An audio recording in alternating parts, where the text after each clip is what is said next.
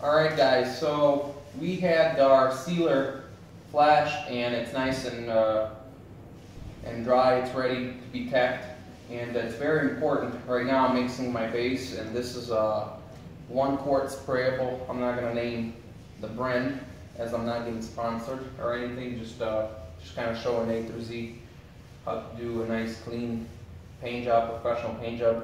Um, so every time you run the fan, um, be between the coats, I recommend tacking it. Like I said, not every painter does that, but for me, that worked uh, all the time. I tack it. So, because every time the fan blows, I mean pools, you do have little particles up in the air. Like I said, we don't have a sixty thousand dollar paint booth. It's uh, it's it's only about ten, twelve thousand dollar paint booth. So we went ahead and uh, mixed our paint. As you can see, it's nice.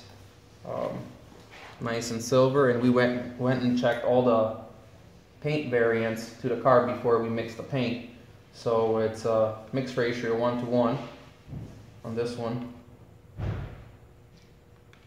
So now we're going to go ahead and uh, apply a first coat of base.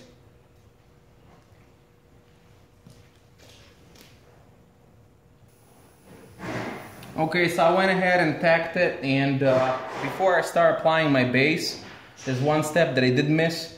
Uh, on the panels that we're blending, you don't have to do this, it's an optional. Uh, what I'm gonna do, I'm gonna apply a, a blending, uh, base coat blending uh, solvent product on the hood, pillar, and the door, where I'll be applying the new color. That will actually let the base uh, sit properly, the metallic not gonna stand up.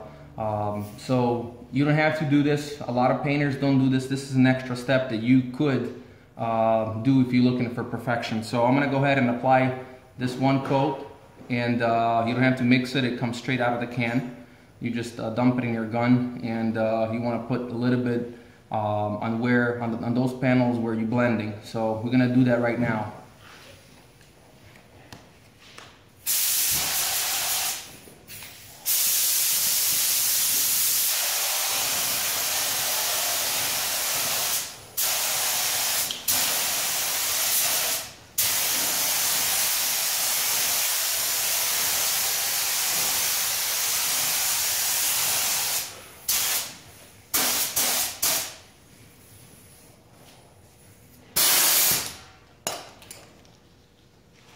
As you can see, it's nice uh, glossy finish. It's not a clear coat.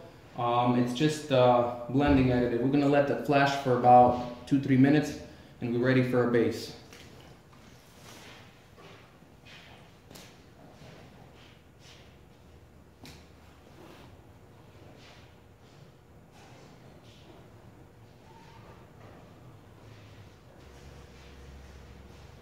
All right, so I'm I'm gonna go ahead and blend uh, new the the used panels right now.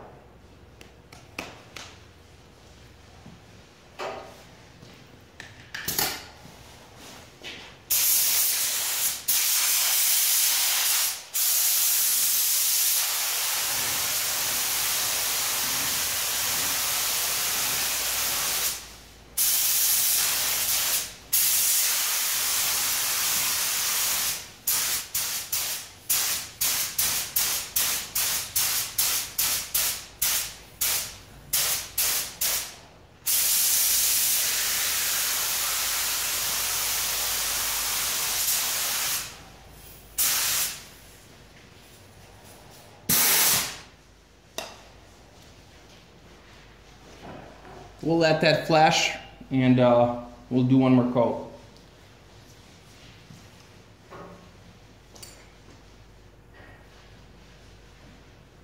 All right, I'm gonna go ahead and apply uh, first coat of base on my body parts, my bumper and my fender.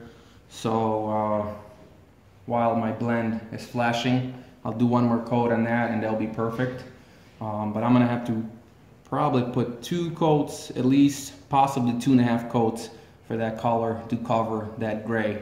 Uh, if that was black, if I didn't seal it, it would probably take five to six coats. So um, that would be a lot of base. And uh, when you're spraying metallics, you wanna, uh, you don't wanna let your gun sit for a while because what's gonna happen, uh, it's a gravity effect. All the metallic will settle, and then you could have uneven, uneven uh, metallics on your body panel. So we want to make sure you always shake your gun, um, or take the base out, put it in a container, mix it, and dump it back in the gun. Don't want to let your silver metallic stay in the gun for 10-15 minutes while all the panels are flashing, because you will not have the same type of uh, metallic on the fenders, especially in the sun. If you use a sun gun or if you take the car in the sun, you'll definitely see uh, difference in metallic, and it will be blotchy.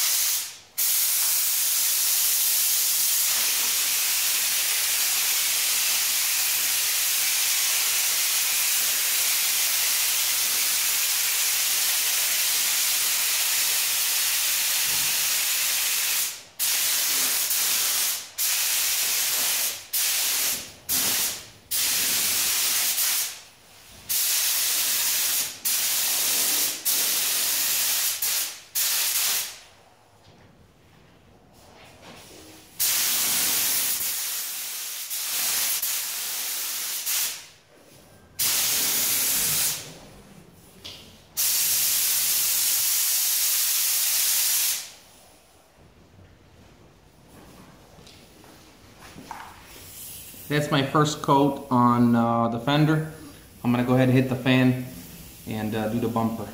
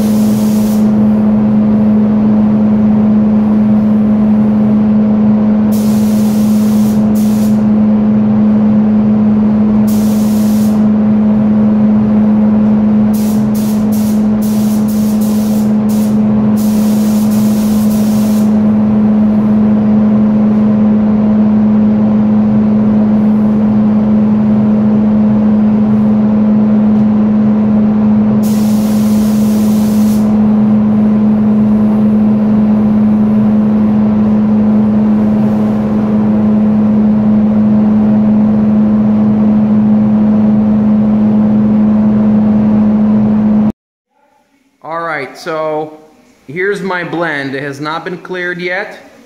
As you can see, it's not blotchy. I'm gonna walk back and, and show you the door. As you can see, my blend is perfect. All right, there was a little scratch. We decided not to repair that scratch. Um, but you can see there's no blotches in silver.